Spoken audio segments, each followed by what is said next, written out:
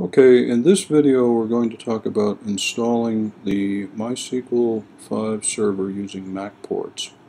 First thing you have to do is install Mac ports. So you Google on Mac ports and you click on the installing Mac ports thing. And then you uh, click on the appropriate link. Here I'm pulling down the DMG or the disk image for Mac ports for uh, 10.6.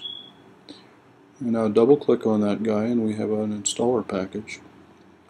We fire up the installer package, say continue, and now we get to click through things. The first thing you get is a screen with a whole bunch of instructions.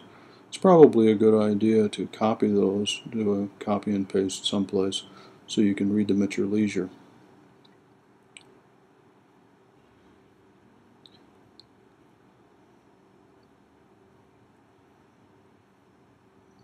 Okay. And this is all pretty straightforward. Here you put in your administrative password or the user ID and password of an administrator. MacPorts is all uh, installed in the root directory of the main system. I cut out some stuff because it got pretty boring waiting for it to finish installing. Now we want to unmount the MacPorts uh, disk image. And we'll do that by bringing up a, uh, a Finder window with a Command N and then ejecting the disk and then we'll close the Finder window. Now we need a, uh, a terminal. This is done in the utilities part of applications.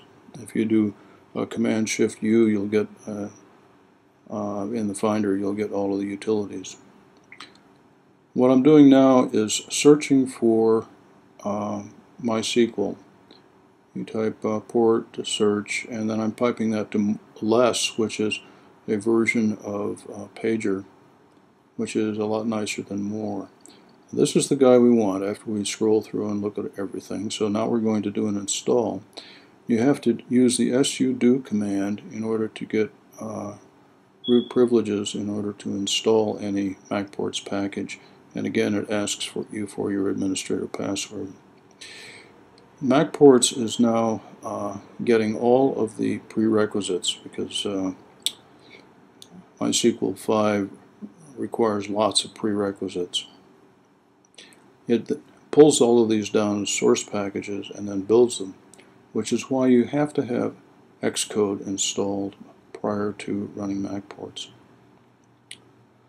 Uh, you'll see here that we have built uh, and installed MySQL, but the difficulty here is that all we have is the client. We're going to need the server in order to uh, host a database, so we grab this command that they tell us about and type it in again with preceded by an sudo so we can run it root privileges to pull down the server. That's now happening. And this runs pretty quickly. Then you also get a page of instructions here on how to initialize the MySQL database, how to start it up, uh, and some other neat things. You should definitely do a copy and paste of this, put it someplace nice using TextEdit so that you can refer to it later.